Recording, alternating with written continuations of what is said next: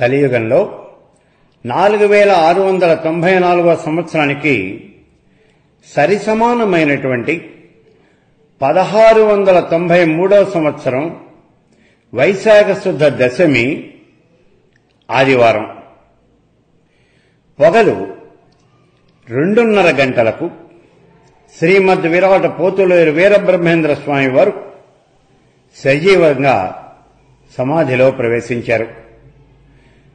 ఆ సమయంలో అక్కడ గుమికూడినటువంటి భక్తజన సందోహం అంతా కూడా అతి బిగ్గరగా శ్రీమద్ విరాట్ పోతులూరి వీరబ్రహ్మేంద్ర స్వామి వారికి జయ హో జయ హో.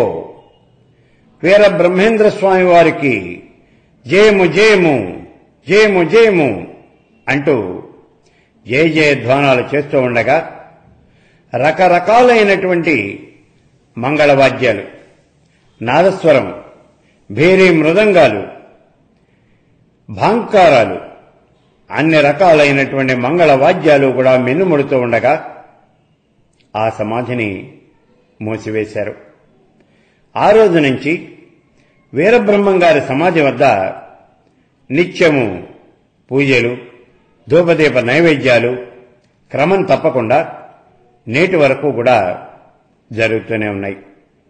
ఈ రకంగా పదహారు వందల తొంభై మూడవ సంవత్సరం వైశాఖ శుద్ధ దశమి ఆదివారం రోజున పగలు రెండున్నర గంటలకి సాక్షాత్తు శ్రీమన్నారాయణ స్వరూపమైనటువంటి శ్రీమద్ విరాట పోతులేరు వీరబ్రహ్మేంద్ర స్వామి వారు సజీవంగా సమాధిలో ప్రవేశించారు. ఇక్కడ మనం గతంలోనే చెప్పుకున్నాం కాకతీయ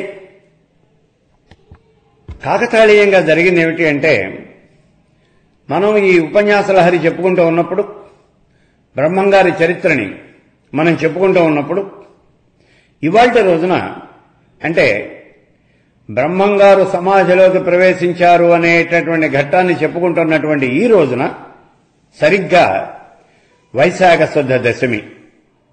అయితే ఇవాళ మంగళవారం అయింది. అంటే ఇది కేవలము కాకతాళీయం. అంటే బ్రహ్మం గారికి మన మీద ఉన్నటువంటి అపారమైనటువంటి కృపా కటాక్ష వీక్షణాలు వాటి వల్లనే ఇలా జరిగింది అని నేను భావిస్తూ ఉన్నాను. ఎందుకంటే అదే తిథి అనుకోకుండా ఇవాళ మనకి రావడం కూడా జరిగింది.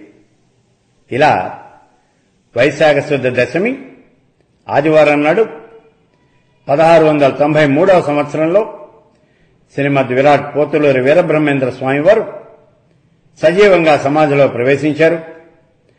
అప్పటి నుంచి ఇప్పటిదాకా కూడా ఆ సమాధికి నిత్యము ధూపదీప నైవేద్యాలు జరుగుతూనే ఉన్నాయి.